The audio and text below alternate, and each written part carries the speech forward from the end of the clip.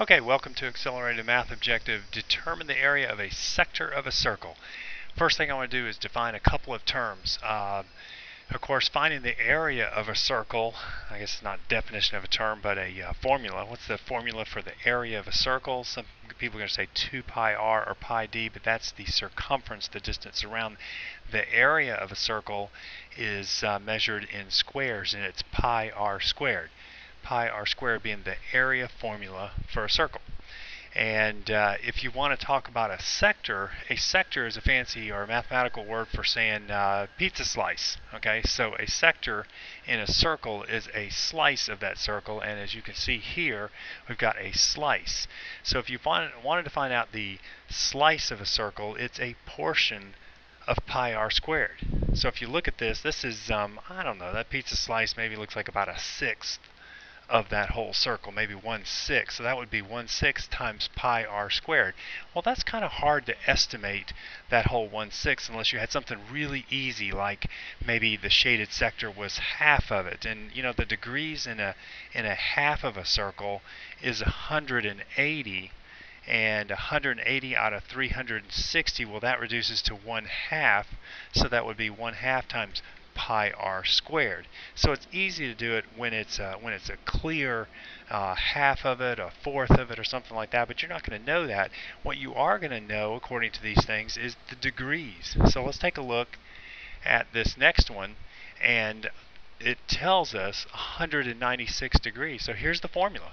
We're going to go the arc in degrees over 360. That's just the fraction of that uh, the, that the slice represents of the whole circle times pi r squared.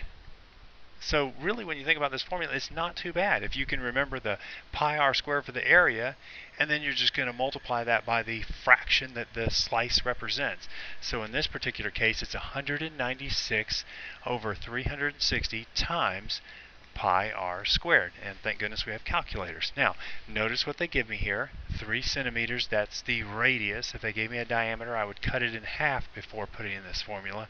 So I'm going to go 196 over 360 times pi r squared 3 squared. Now I know that 3 squared is 9, but I can put this in the calculator. Let's see if um, uh, this calculator over here gives me I want uh, calculator, sorry, I should have had that set up beforehand. Alright, 196 divided by 360. I'm going to go ahead and hit enter there.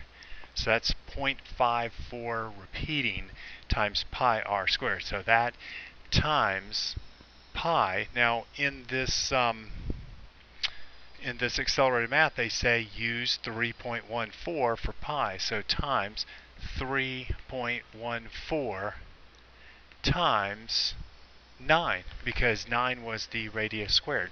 And there's my answer. So it's uh, 15 point, and it said round to the nearest tenth of a square centimeter. So I'm going to go, that was 3 8, so I'm going to go 4 centimeters squared.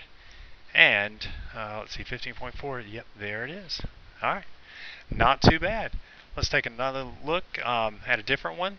I want to do this one because this one's a little different. It gives me the circumference, ooh, the circumference in pi. So I've got to deal with that. Hmm. All right. Whew, I would have rather them just given me the radius. Uh, that's what I need because the formula is arc in degrees over 360 times pi r squared. Well, there's no circumference in this formula, so how am I going to get the radius? Well, you know what? I'm going to use the circumference formula I mentioned a minute ago. That was um, either 2 pi r or pi d. Now I'm going to use the um, 2 pi r one because I'm looking for the radius here. So I'm going to find this radius by using the circumference formula. They told me that the circumference was 12 pi and I'm going to put that equal to the circumference formula which is 2 pi r. And now I'm going to solve it for r. I'm going to pen down a little bit here. Okay, so I'm going to solve it for r. I need to get this 2 pi off of here, so I'm just going to divide this side by 2 pi.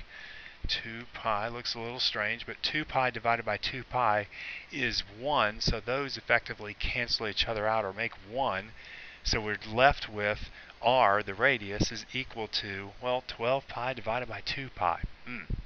Okay, believe it or not, the pi's cancel each other out or make 1, and then we're just 12 divided by 2. We all know 12 divided by 2 is 6. So the radius is 6. That's not the answer, but that gets us what we need to plug into our formula. So now let's go with this formula up here now that we know the radius is 6. So we're going to go 291. Where did I get that? Well, that was the arc in degrees of this shaded sector. Okay, so 291 divided by 360 times pi r squared, and in this case r is 6, and 6 squared is not 12, but 6 squared is 6 times 6, which is 36. So 291 over 360 times pi times 36, and I can put that in the calculator just like that. Um, let me clear this one. I've got 291 divided by 360. I'm going to hit equals there just to get that. I'm going to multiply that times pi, but I'm going to put in 3.14 because they told me to use 3.14 for pi times 36, which was the radius squared. I've got the area of that shaded sector is 91.37. I'm going to round it to the nearest fourth. That's centimeters squared. There it is. Not too bad. I uh, just got to work that circumference formula to get the radius. And then uh, those are the two examples that you'll see on this accelerated math. Have fun.